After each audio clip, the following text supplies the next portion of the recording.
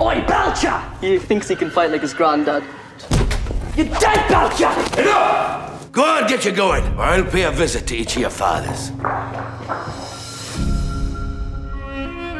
In life, the only way to protect yourself is to fight. He ain't got it in him to do what you did.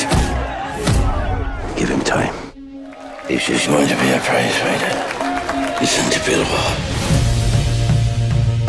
Ladies and gentlemen, one Jem Belcher! More money's on the skinny fella. You'll be a stronger, more experienced fighter just using your noggin. You come and see me. And I'll put you at the top. Fighting provides a stepladder for a pauper to become a prince. Is this your first exposure to high society? It is.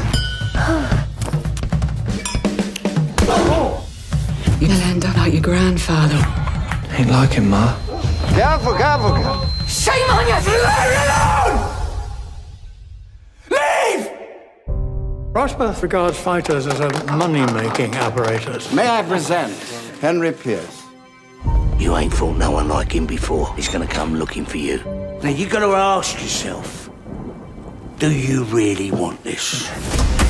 The championship prize fight is being talked about across the whole country.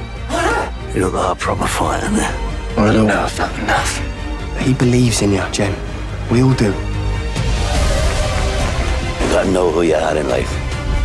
When your grave's filled and your flesh rots away, all you leave behind is your name. Jem Belcher!